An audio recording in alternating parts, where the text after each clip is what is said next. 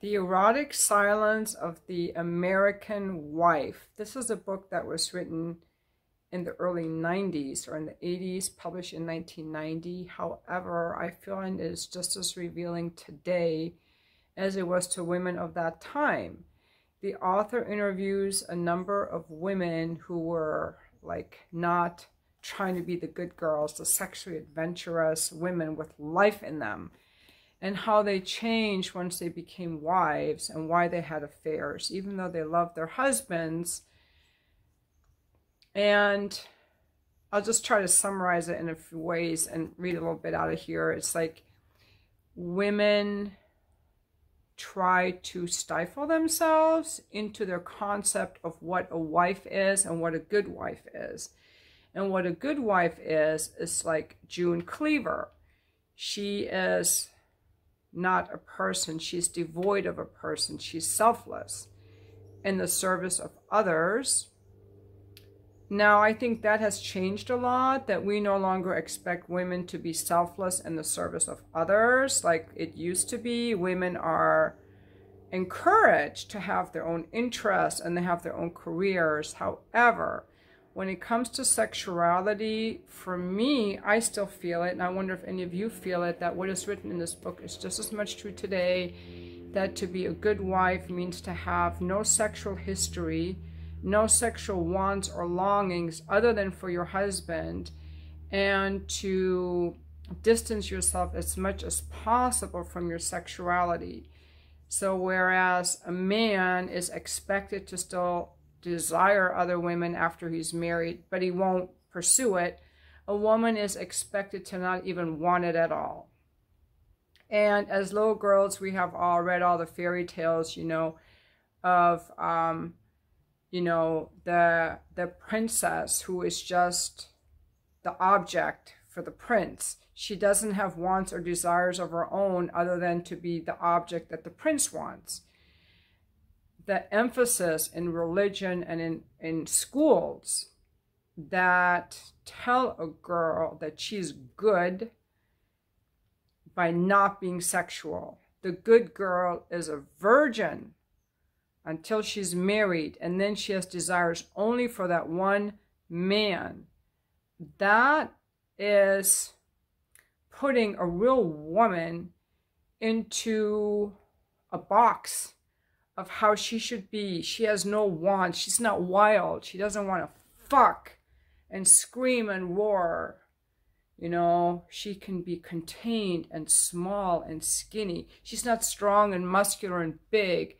You know, we have to keep her voice small so she doesn't threaten anything. You know, we have to keep her contained and small and skinny and with no sexual energy other than for her husband because what will we do with the woman who's sexually enlivened? She could be a huge threat. And that's just kind of like our social programming around female sexuality in this country.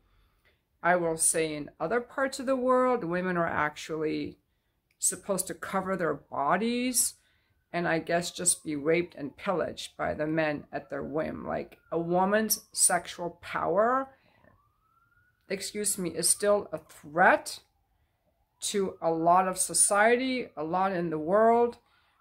And that's why I will never be on Oprah talking about the fuck list because I think I'm a threat even to Oprah. She can't handle it. A lot of people can't handle it. Sometimes I can't handle women's sexuality. Like, I don't see it. It's always repressed.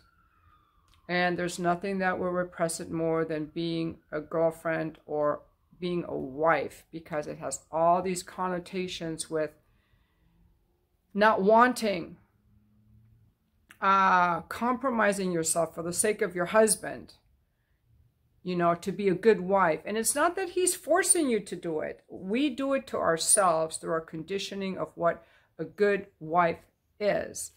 So I would like to read to you some really cool passages from this book. Now, uh, I'm going to read the part about the perfect wife, the perfect woman. Uh, and some of this may not apply so much to women, younger women today, but it might apply to women who are watching this who could be in their 70s. They may relate to this more. The perfect wife is, of course, Donna Reed. She is beautiful, smiling, supportive, contented, giving, feminine. She is, in a word, good. Good, as it applies to the perfect wife, inevitably modifies and diminishes the word self, as in self sacrifice, self abnegate, self restraint, self denial. The suffix always restraining or containing or constraining in an effort to make that woman's self a little less something. If she can annihilate herself altogether and still manage to seem contented, then she has achieved the additional heroic feat of holding on to their femininity, that elusive quality women are always in danger of losing whenever their selves threaten to burst through all of the constraints. It diminishes most dramatically when she displays her sexuality openly, for overt sexuality is antipathetic to femininity. She is thought to have had more femininity in the past than she does today because the constraints on her sexuality were so much greater then. Now let's talk about the perfect girl. The perfect girl, uh, the perfect girl, first of all, she is um, hold on. well, the perfect girl is who other people want her to be. So let's talk about the perfect girl's alternative is to be the kind of girl who rejects the ideal outright and refuses to believe in the reality of the saccharine creature and her false relationships and her stifled sexuality. The kind of girl who remains outspoken about what she sees and knows and feels. You know this girl. She wears a lot of makeup, maybe. She's overtly sexual. She ridicules phoniness and talks about it out loud. She dares to look and dress and speak and do precisely as she wishes. She doesn't care about the perfect girl. For not caring, though, and for not being pleasing, for her anger and her defiance, such a girl is called bad. But more than anything else, bad means sexual. The perfect girl, above all, is chaste. This, even more than her beauty and her compliance, is what makes her perfect in the first place. Virginity is the perfect girl's trademark. It is what allows her parents and her teachers to relax. A girl's sexuality must go underground if it is to be acceptable to teachers and parents who are crucial in determining how she feels about herself. So I think that is where a lot of women come from in wanting to be the perfect wife, like the ideal that our society sets as who are we supposed to be as perfect wives. And we want to be good wives, right? We want to be good wives. We want God to love us. We want our partners to love us. Like we want to be part of society. We want to be a contribution. Let me fix my hair. there. Doesn't have to be perfect. Let's let it be wild. I don't want to be the perfect girl. I want to be wild. And that's why I don't want to date guys my age. Because I think that, to me, makes me feel like I'm in this straitjacket of the perfect girl, the perfect wife who has to leave her sexuality behind. And as I've said in other videos, it wasn't that men made me do this, but I I was taught as a young woman growing up that by society that I as a woman show my interest in a man by killing off a large part of myself. All desires for other men, all desires I've ever had for other men, and my sexuality, and I must keep my sexuality small it can't be a bubbling cauldron. It can't be alive and on fire. It has to be kept contained to be a good wife because a good wife is, after all, someone who was a virgin.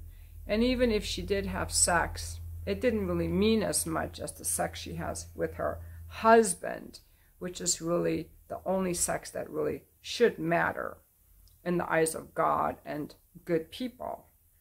And so, you know, um, the girl, the perfect girl, the perfect wife, puts herself in a straitjacket.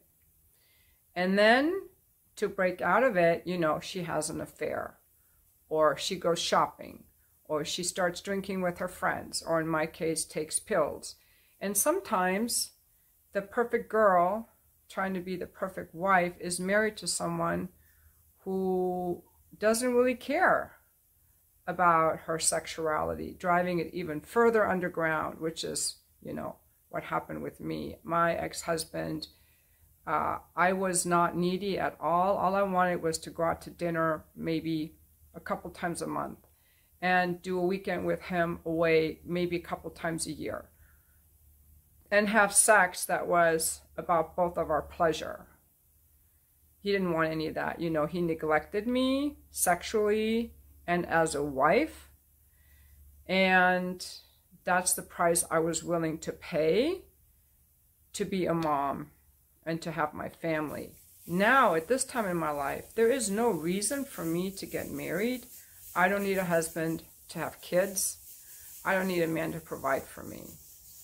So I'm no longer willing to make that trade-off between security and freedom. And there is a trade-off, security versus freedom.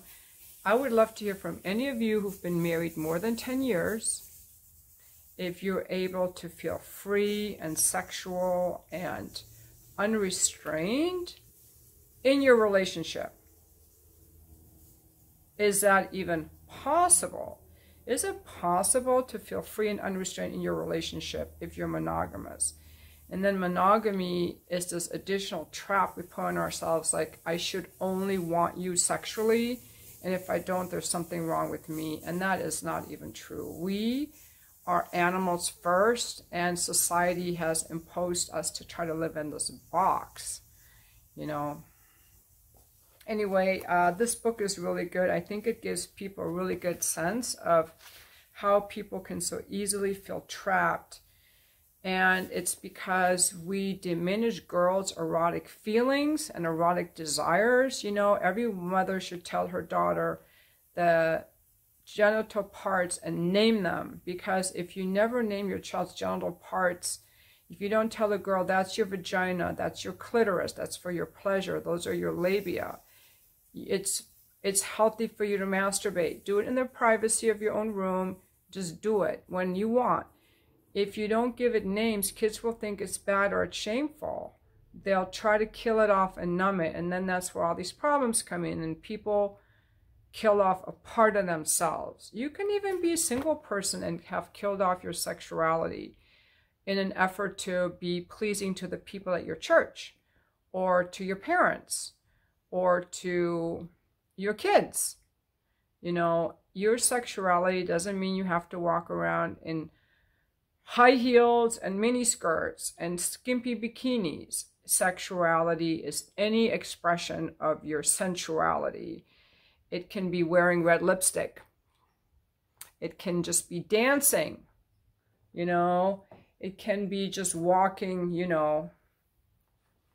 It can be just flirting with someone or singing. And of course, it will be masturbating and having sex with someone if you want to.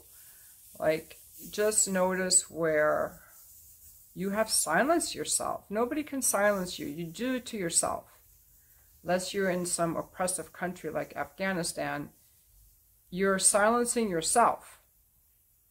So that's an important point to remember.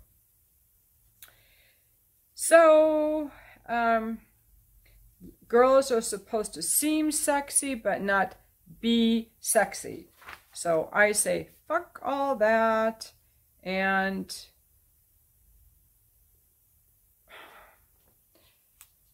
you know, I guess this is just like waking up maybe to some of you for part of yourself, to a part of yourself that you've abandoned that didn't have to be abandoned. And thank you for watching my video.